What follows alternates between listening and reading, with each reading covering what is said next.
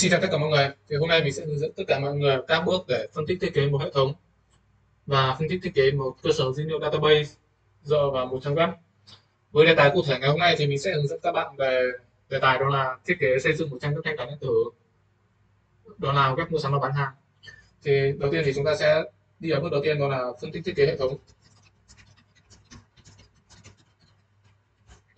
Trước khi đi vào ờ, bước đầu tiên là phần phân tích thiết kế hệ thống thì chúng ta cần phải điểm qua một số lưu ý như sau.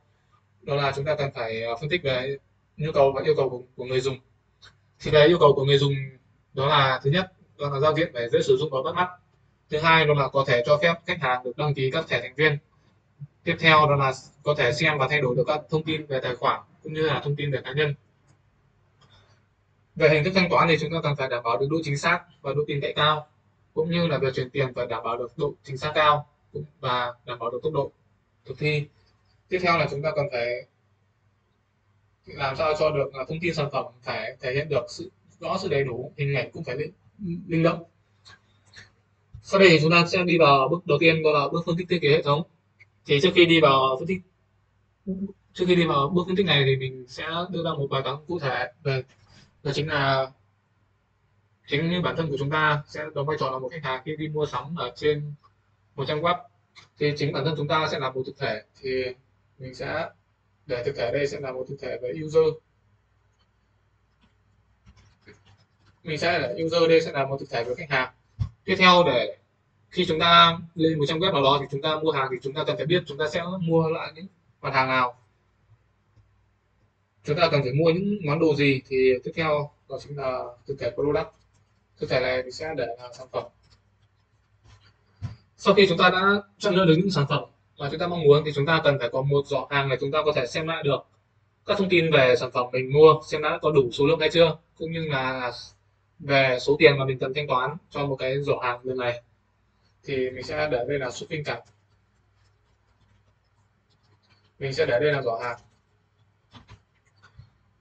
sau khi chúng ta đã vào bước đến bước cửa hàng thì chúng ta cần phải đến bước thanh toán các sản phẩm mà chúng ta đã được chọn. Chúng ta đã chọn trong cửa hàng này thì chúng ta sẽ để đây là thanh, thực thể payment. Để bước thanh toán. Cuối cùng sau khi chúng ta đã thanh toán các mặt hàng đơn hàng xong thì chúng ta cần phải có một đơn vị vận chuyển nào đó để chúng ta có thể đưa được các sản phẩm này đến với tay của chúng ta. Thì chúng ta sẽ mình sẽ chúng ta sẽ có thực thể tiếp theo đó là shipping. Thì đây mình sẽ để là đơn vị vận chuyển như vậy là chúng ta đã có năm thực thể chính ở trong hệ thống một, hệ thống web mua hàng. Thì chúng ta sẽ đi vào chi tiết từng thực thể một thực thể user. Thì chúng ta sẽ cần xem xét là thực thể user này sẽ cần lưu những thông tin chính nào. Thì trước khi đi vào thực thể này thì mình sẽ cần phải điểm qua một số lưu ý về thực thể user này. Với thực thể user thì chúng ta sẽ hiểu theo nó là một khách hàng hay là một người dùng. Nhưng chúng ta cũng có thể hiểu đó là một người quản trị viên người này sẽ có chức năng đó là quản lý các sản phẩm, quản lý số lượng của sản phẩm, cũng như quản lý được số lượng khách hàng, đơn hàng. Thì ở đây mình sẽ nốt là đó là khách hàng và quản trị viên.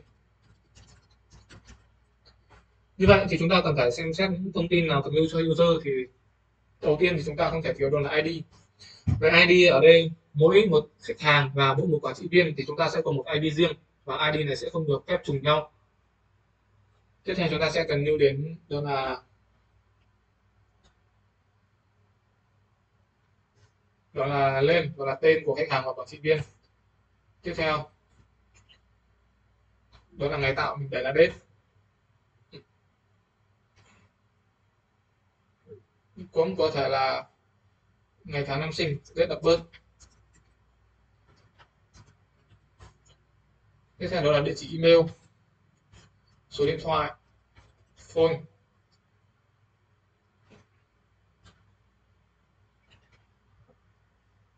Với mỗi khách hàng và một quản trị viên thì chúng ta sẽ cần phải có một cái tài khoản riêng để chúng ta có thể thực hiện được các chức năng mua hàng và thanh toán. Như vậy thì chúng ta cần phải có một trường đó là username. Đây là tài khoản password. Như vậy, làm cách nào để chúng ta có thể phân biệt được khách hàng và quản trị viên? Mặc dù họ đều là một trường user với nhau, thì chúng ta sẽ cần phải sử dụng đến một trường đó là role. Trường role này sẽ có chức năng đó là phân quyền. Chức năng là phân quyền, truy cập cho khách hàng. Ví dụ như role đối với khách hàng thì khách hàng chỉ có thể xem mua hàng và sửa sửa giỏ hàng của mình. Còn quản trị viên sẽ là người duyệt đơn cho mình. Tiếp theo chúng ta sẽ đến với thực thể product đó là sản phẩm. Đối với thực thể product này thì chúng ta cũng sẽ lưu một số thông tin như sau. Thứ nhất đó là về ID tiếp theo đó là về tên của sản phẩm.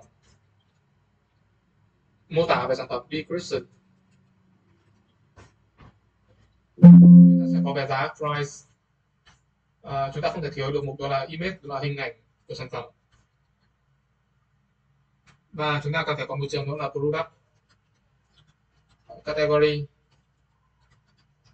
Đó chính là cái này dùng để là phân loại xem sản phẩm này thuộc loại nào tiếp theo chúng ta sẽ đi đến phần shopping cart.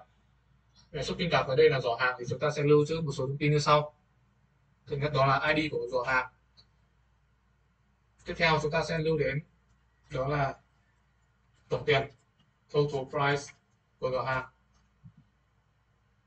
Tiếp theo chúng ta sẽ lưu đến um, ngày lập đơn date. Chúng ta có tổng giá. Tiếp theo là địa chỉ address chúng ta sẽ có user ID ở đây sẽ là thuộc cái giỏ hàng này thuộc quản lý của khách hàng nào.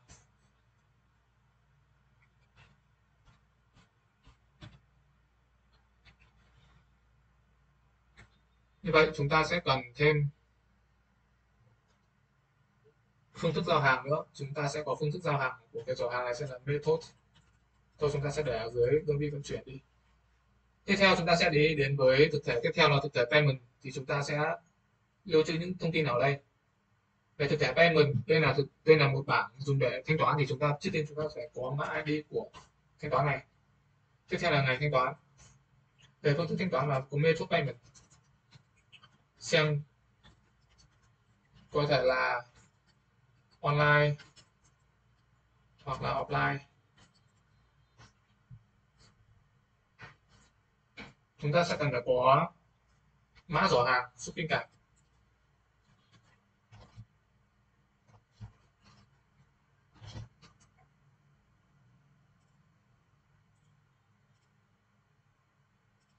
chúng ta sẽ có một cái mã đó là shopping cart shopping cart ở đây chúng ta sẽ hiện được nhỏ đây là sẽ là cái mã giỏ hàng và thanh toán. Tiếp theo chúng ta sẽ phải biết được cái mã thanh toán này là của ai thì mình sẽ sử dụng user ID tổng tiền thanh toán là total price. Và cuối cùng thì chúng ta sẽ đến với, chúng ta, chưa, chúng ta sẽ có thêm một trường nữa, đó là transaction ID của customer. Chúng ta sẽ hiểu đây sẽ là một cái mã giao dịch của khách hàng và mã giao dịch của người bán hàng transaction ID của merchant. Đối với mỗi mã khách hàng và mã của merchant thì chúng ta sẽ phải sinh random. Bởi vì chúng ta sẽ, mỗi đơn thì chúng ta không thể nào có các mã trùng nhau được. Và đến cuối cùng là thực thể shipping thì chúng ta sẽ lưu trữ một số thông tin như sau. Thứ nhất, chúng ta vẫn sẽ phải lưu trữ thông tin về ID tiếp theo đó là địa chỉ giao hàng, address. Tiếp theo đó là về thời gian giao hàng dự kiến, date, tổng tiền total price, tổng tiền phải thanh toán.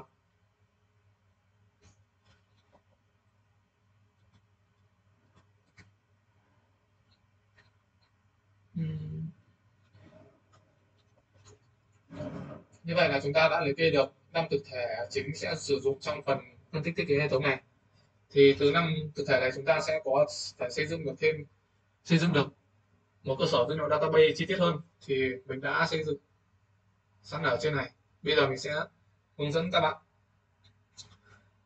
Trước tiên thì chúng ta sẽ đi vào bảng sản phẩm là là product. Chúng ta sẽ đi từ bảng bảng sản phẩm. Như vậy thì bảng sản phẩm thì chúng ta, trước tiên chúng ta cần phải hiểu đó là sản phẩm thì có rất nhiều loại sản phẩm. Ví dụ như trong web đó có thể bán quần áo, giày dép, ba lô túi sách. Như vậy thì chúng ta cần phải phân loại được sản phẩm này để thuộc những loại sản phẩm nào để sau này chúng ta có thể phân loại ra và lọc ra một cách dễ dàng hơn, thì mình sẽ sử dụng nó là bảng product ở category. Thì bảng bảng product và bảng product ở category này sẽ có một mối quan hệ đó là một nhiều. Bởi vì từ bảng phân loại, từ bảng product category này sẽ là một danh sách chứa các loại sản phẩm. Mình sẽ ví dụ như phân loại đó là, thứ nhất đó là sản phẩm về giày. Thì bên trong sản phẩm thì sẽ có các giày như giày Nike, giày Adidas, giày Anta, giày Việt, vân vân. Chính vì vậy mà mình sẽ sử dụng ở đây nó là một mối quan hệ là mối quan hệ một nhiều. Tiếp theo thì ta sẽ để ý sang bảng user. Đối với bảng user thì bây giờ chúng ta sẽ để ý như sau. Bảng user sẽ quản lý một list các danh sách đó là giỏ hàng, đơn hàng và thanh toán. Mình sẽ sử dụng ở đây là một mối quan hệ một nhiều. Mình sẽ mình sẽ giải thích như sau một tài khoản người dùng có thể mua hàng được nhiều đơn hàng. Và một đơn hàng thì sẽ chỉ được mua bởi một khách hàng. Do vậy, mình sẽ sử dụng đó là một mối quan hệ một nhiều. Và mối quan hệ này cũng sẽ áp dụng tương tự cho shop order, đó là đơn hàng và thanh toán. Tiếp theo chúng ta sẽ đi đến bảng shopping cart item. Bảng shopping cart item sẽ có một mối quan hệ là một nhiều đối với bảng product và shopping cart. Bây giờ chúng ta sẽ để ý đến đó là bảng product và bảng shopping cart thì sẽ có một mối quan hệ đó là một sản phẩm có thể ở nhiều giỏ hàng và một giỏ hàng sẽ cũng có chứa nhiều sản phẩm. Do vậy hai bảng này sẽ là một mối quan hệ nhiều nhiều. Chính vì vậy do là mối, mối quan hệ nhiều nhiều lên sẽ bảng xuất shopping cart item sẽ là một bảng trung gian để có thể để có thể chỉ ra được sản phẩm này sẽ thuộc giỏ hàng nào. Tiếp theo đó là shopping cart và shop order. Thì shop order sẽ quản lý một danh sách các giỏ hàng. Chúng ta có thể hiểu như sau. Một đơn hàng thì chúng ta có thể mua được. Trong một đơn hàng thì chúng ta sẽ có nhiều giỏ hàng. Và cái đơn hàng này sẽ là cái đơn hàng cuối cùng để chúng ta có thể chuyển đến bước thanh toán. Bảng shop order ở đây chúng ta sẽ có tổng tiền thanh toán cuối cùng. À, một người à, khách hàng cần phải thanh toán. Tiếp theo đến bảng shopping cart và bảng payment thì chúng ta sẽ sử dụng một mối quan hệ là một nhiều. Chúng ta sẽ hiểu đơn giản như sau. Một giỏ hàng thì chúng ta có thể thanh toán được nhiều lần. Ví dụ như chúng ta chuẩn bị thanh toán rồi, nhưng chúng ta đã sẽ phải cần phải sửa địa điểm giao hàng hoặc là chúng ta muốn xóa một sản phẩm đi thì chúng ta sẽ phải hủy hủy đang giao dịch này thì payment lúc này sẽ là ở trạng thái bị hủy.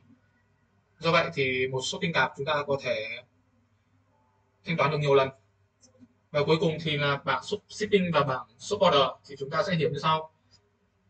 Một người ship một người ờ, một người giao hàng thì sẽ giao một lúc sẽ nhiều đơn hàng. Nhưng một đơn hàng sẽ được giao bởi một người giao hàng. Do vậy mình sẽ sử dụng mối quan hệ là một nhiều ở đây, là một người giao hàng sẽ quản lý được một danh sách các đơn hàng. Như vậy trên đây là mình đã xây dựng xong phần thiết kế dữ liệu database cho một trang web mua sắm bán hàng. Rất cảm ơn mọi người đã lắng nghe bài ờ, thuyết trình cũng như là bài giải thích của mình.